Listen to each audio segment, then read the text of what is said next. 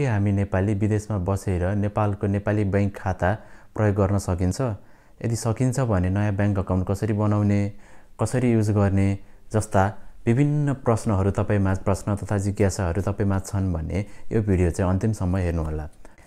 नमस्ते मेरो नाम लक्ष्मण हो र यो भिडियोमा चाहिँ ने विदेशमा बसेर हामीले कसरी नेपाली ब्याङ्क अकाउन्ट चाहिँ युज गर्न सक्छ भनेर म तपाईँलाई थोरै इन्फर्मेसन सेयर गर्दैछु। सुरुमा ब्याङ्क अकाउन्ट बनाउनको लागि हामीले ब्याङ्कको वेबसाइटमा गएर एउटा एप्लिकेसन फर्म सब्मिट गर्नुपर्ने हुन्छ। यसको लागि चाहिँ तपाईँले आफूलाई मन लागेको ब्याङ्क तपाईँलाई जुन ब्याङ्कमा चाहिँ आफ्नो अकाउन्ट क्रिएट गर्न मन लाग्छ त्यो ब्याङ्कमा ब्याङ्कको अनलाइन एप्लिकेसन फर्म चाहिँ फिल गरेर चाहिँ सब्मिट गर्नुपर्ने हुन्छ। जस्तो नेपालमा चाहिँ अलमोस्ट सबै ए क्लास ब्याङ्कहरूले चाहिँ अनलाइन ब्याङ्किङ सुविधाहरू प्रदान गरिरहेको छन्। तैपनि तपाईँ आफू स्योर हुनको लागि चाहिँ तपाईँलाई मन लागेको ब्याङ्कको फेसबुक पेज अथवा उनीहरूको इमेलमा इमेल गरेर चाहिँ मलाई म यो ठाउँमा छु र मलाई चाहिँ एउटा ब्याङ्क अकाउन्ट बनाउनु पर्ने थियो। के गर्न सकिन्छ भनेर गर्नुभयो भने उनीहरूले रिप्लाई गर्छन् र त्यहाँबाट अगाडि बढ्न पनि सक्नुहुन्छ। नभए जस्तो प्रभु ब्याङ्क माछा पुच्छरे सानीमा ग्लोबल आइएमई लगायत अन् थुप्रै ब्याङ्कहरूले चाहिँ वेबसाइटमै मजाले मेन्सन गरेको हुन्छ कसरी अकाउन्ट क्रिएट गर्न सकिन्छ घरमा बसी बसी भन्ने तरिकाले।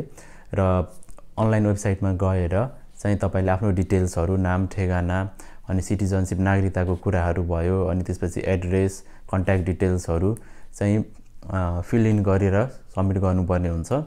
र यसको लागि चाहिँ अब हामीले नेपालको मोबाइल नम्बर त युज गर्न अलिकति सम्भव हुँदैन विदेशमा बसेर। अनि यसको लागि चाहिँ हामीले चाहिँ कम्युनिकेसनको लागि लगइन गर्नको लागि जस्तो इन्टरनेट ब्याङ्किङ लगइन गर्नको लागि चाहिँ इमेल एड्रेसहरू चाहिँ प्राइमरी रूपमा युज गर्ने गर्छौँ र त्यही भएर तपाईँले चाहिँ अलिकति आफ्नो इमेल एड्रेस चाहिँ सेक्योर्ड राख्नुपर्ने पनि हुनसक्छ।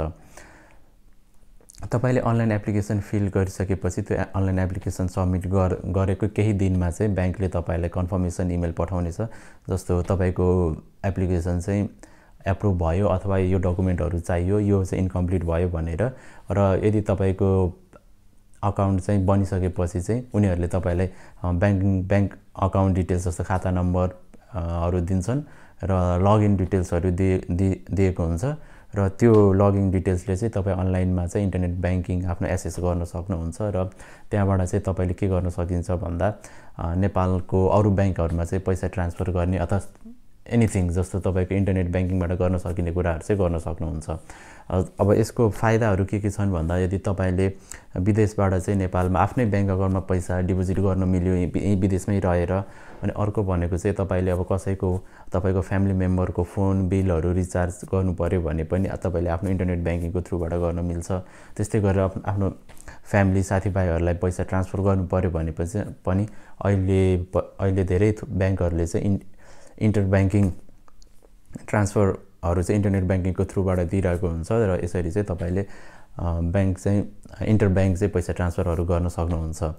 र इन्टरनेट ब्याङ्किङ प्रयोग गर्दाखेरि चाहिँ तपाईँले आफ्नो पासवर्डहरू इमेल एड्रेसहरू अनि त्यसपछि वेबसाइट सेक्योर छ छैन अनि थुप्रै कुराहरूमा चाहिँ ध्यान दिनु होला र यति भन्दै आजको यो छोटो भिडियोबाट म बिदा हुन्छु। तपाईँलाई तपाईँसँग रहेका कुनै जिज्ञासाहरू छन् भने तल कमेन्ट सेक्सनमा लेख्न नबिर्सिनु होला अर्को भिडियोमा भेट्नेछु।